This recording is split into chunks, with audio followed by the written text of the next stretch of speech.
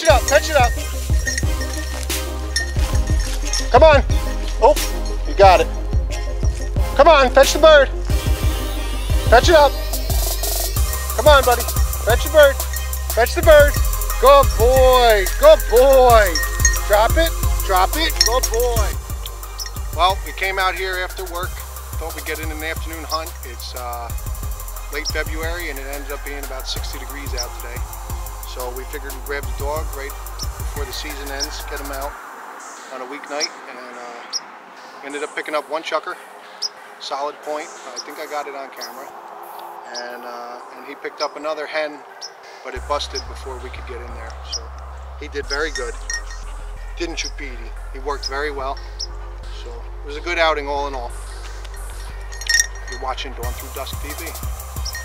Good boy.